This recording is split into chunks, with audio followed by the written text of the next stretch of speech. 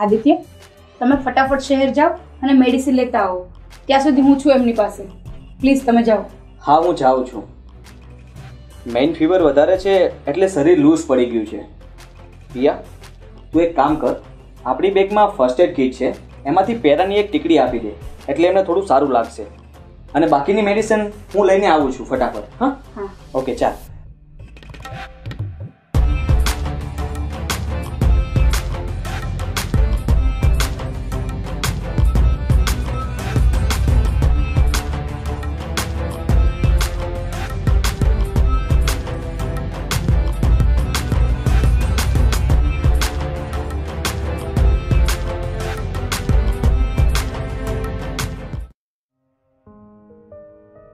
આલો દવા.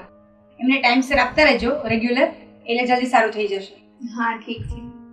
તમે જરાય ચિંતા ના કરતા હું બે દિવસ પછી પાછો આવીશ. મુકેશભાઈ તમને આપેલી દવા બધો ડોઝ બરાબર પૂરો કરજો. ડોક્ટર સાહેબ તમે મારા તારણહાર બનીને આવ્યા છો. નકર આવા મોસમમાં અમે દવાખાને કેવી રીતે જાત?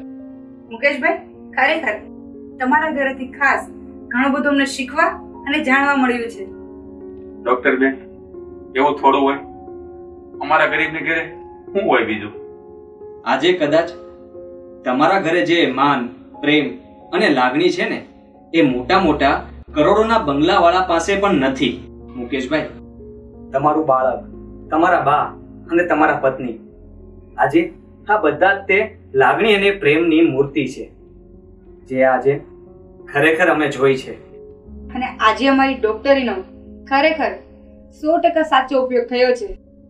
અને ખાસ કરીને અમને પૈસા અને પ્રેમ વચ્ચેનો તફાવત પણ સમજાઈ ગયો છે. Thank you Meenaben.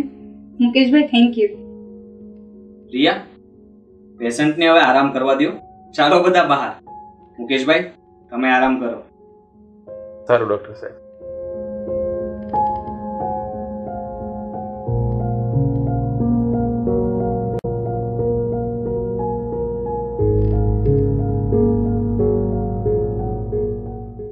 બા તમારે જરાય ચિંતા કરવાની જરૂર નથી. મુકેશભાઈને બહુ જલ્દી સારું થઈ જશે. અને હા હું દર બે દિવસે એમની વિઝિટ કરવા માટે આવીશ. પણ ડોક્ટર સાહેબ તમારી ફી કેટલી થાય બસ બે રકાબી ચા. હા જ્યારે હું આવું ત્યારે બે રકાબી ચા અમને પાજો. એ જ મારી ફી પણ એમ કેમ? તમારી બે રકાબી ચાનું મોલ કોઈ ના ચૂકવી શકે? ભગવાન પણ નહીં. તો હું શું ચીજ છું? અને હા કાલે તમારા ઘરે એક ટેમ્પો કરિયાણું સામાન લઈને આવશે. તમે એને તેને ના ન પાડતા. કારણ કે એમાં તમારા ઘર માટે એક વર્ષનું કરિયાણું અને ખાવા પીવાનો સામાન હશે. અરે ના ના. આવું મફતનું થોડું લેવાય. કેમ બા? હા મીનાબો વાત બરાબર છે. બસ. તમારી આ ખુદદારી જ મને ગમે છે.